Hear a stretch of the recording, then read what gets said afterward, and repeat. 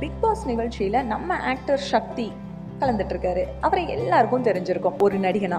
அது மட்டும் இல்லாமல் அவரை பற்றின ஒரு முக்கியமான விஷயம் உங்களுக்கு எல்லாம் தெரியுமா? ம் சொல்கிறேன் பாருங்க.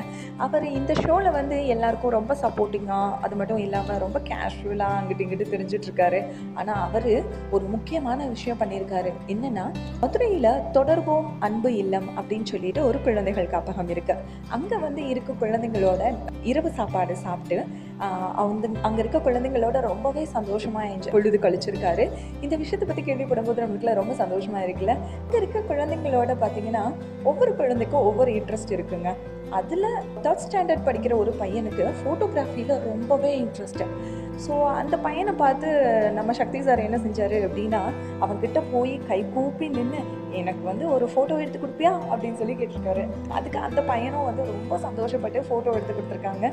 அந்த ஃபோட்டோ தான் இந்த ஃபோட்டோ சூப்பராக இருக்குல்ல? ம்.